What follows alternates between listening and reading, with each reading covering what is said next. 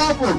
Gerek konut, gerek ulaşım, gerek gıda ve market fiyatlarına bakıldığında ülkemizin yaşam maliyeti açısından en pahalı şehri ve biz yoksul bile değiliz. Sendikamızın her fırsatta dile getirdiği gibi devletin itibarı memurudur ve devletin memuru yoksul olamaz.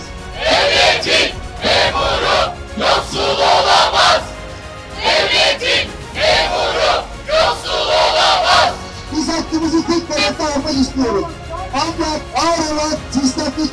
Toplumsal adaletsizliği ve görmezden gelmiyoruz.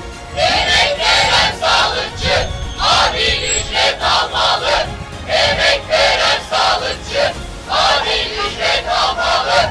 Bugün yediğimiz her öğünden sonra acaba değildir miyiz?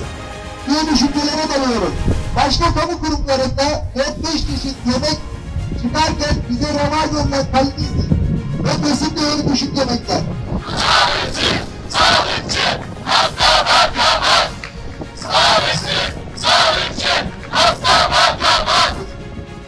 Kendi çalıştığımız hastaneye ulaşmada zorluk yaşıyoruz.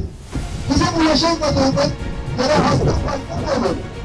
Bizlere sunulan servis hizmeti yöneticilerin inisiyatifinde. Sağlıkçılar burada, servisler nerede? Sağlıkçılar burada, servisler nerede? Kurumumuzda daha önce çocuklarımız için kreş bulunuyordu. Bugün kesintisiz sağlık hizmeti veren bizler komşularımıza, aile büyüklerimize emanet ederek buraya geliyoruz. Çocuk sağlığı için en önde mücadele eden bizlerin çocukları bizlerden uzakta yiyor. Acilen yer, yerleşkemizde kreş açılmasını istiyoruz. Bu konuda yerden değilse biz de sendik olarak önümüzü taşın altına koyacağımızı ilan ediyoruz. Çocuklar güneşte, aileler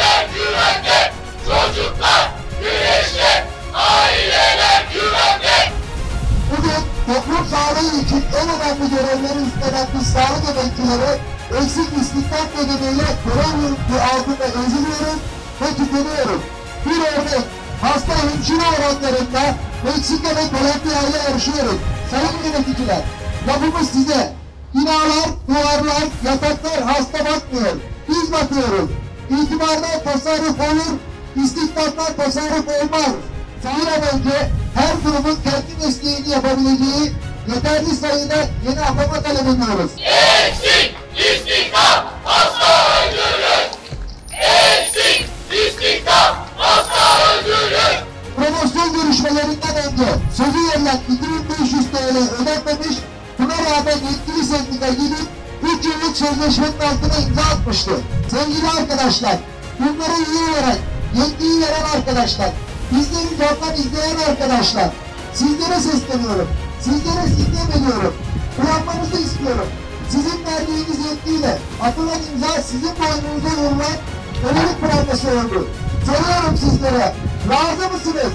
Hayır, Razı mısınız? hayır.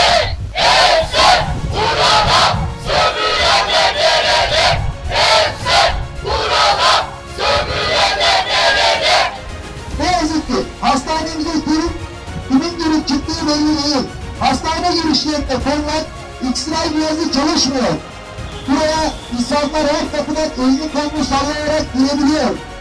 Biz bugün alanda çalışırken acaba silahlı birisi içeriye girer, başımıza bir iş gelir mi diye düşünmek istemiyoruz. Yerli personel sayımız çok az. Kendileri hastanenin ek ödemesinden de yararlanmıyorlar. Burada da istihdamın arttırılması gerekiyor.